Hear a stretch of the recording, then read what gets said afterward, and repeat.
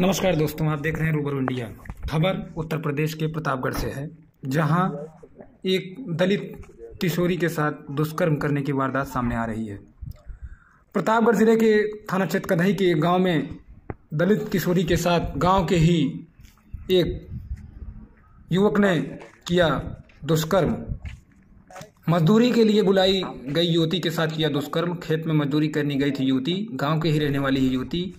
दलित युवती को गाँव में खेत में काम करने के लिए बुलाया, जिसके बाद उसके साथ गई लड़की, पानी लेने गई तो किया दुष्कर्म। गाँव के ही रहने वाले पोले पांडे ने किया दुष्कर्म।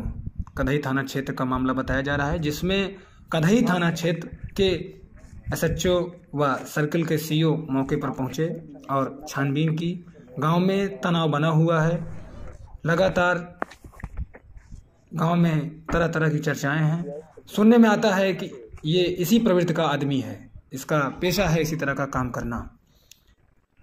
जनपद प्रतापगढ़ में चुनाव संपन्न होने के बाद पुलिस मतदान या मतगणना की प्रक्रिया में परेशान है व उसकी व्यवस्था कर रही है। वहीं थाना कधई क्षेत्र से एक गंभीर व बड़ी खबर सामने आ रही है, जहाँ दलित किशोरी के साथ गाँव के ही पोले ने किया सा दुष्कर्म।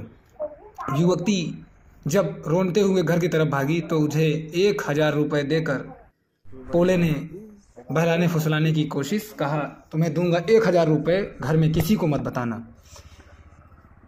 इस संबंध में पीड़ित की माता, पीड़िता की पिता का भी बयान आया है, जिसमें उन्होंने इनके ऊपर गंभीर आरोप लगाए हैं। साथ ही साथ उन्होंने थाना क्षेत्र कधई व सीओपट्टी को इस संबंध में अपनी शिकायत भी दी है, जिसमें पुलिस अपनी कार्रवाई कर रही है। अब देखना है कि इस पूरे प्रकरण में क्या तथ्य और सामने आते हैं। अधिक जानकारी के लिए आप देखते रहिए रूबरू इंडिया। ज़्यादा से ज़्यादा खबरों के लिए हमारे चैनल को सब्सक्राइब करिए, शेयर कीजिए, बेल